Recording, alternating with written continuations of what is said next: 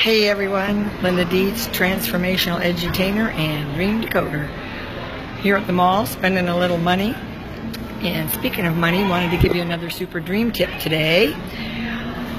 Money in your dreams. You can transform your life by understanding your dreams. And a lot of people have money in their dreams. Money in a dream represents your values, inner values and outer values.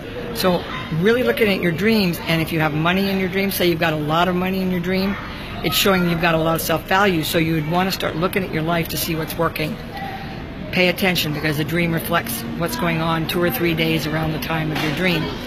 I'm so excited because because uh, and if you want to know more about this, of course, you can go to uh, www.exploremindworks.com and check out my brand new Dream Decoding uh, Master Your Life program a simple little membership program that can help you really understand your dreams. You can do it a month to month and get bite-sized pieces. And one of the things that we're going to be going over there is money in your dreams. That's going to be one of the symbols we work with. Uh, they're called universal symbols. So if you have money in your dreams, uh, start watching what where the cha-ching cha-ching is going on in your life. What are you doing that's working? Course, if you're needing money in a dream, it's telling you that you might need some to put attention on self-value. Uh, you might want to get a coach or a mentor.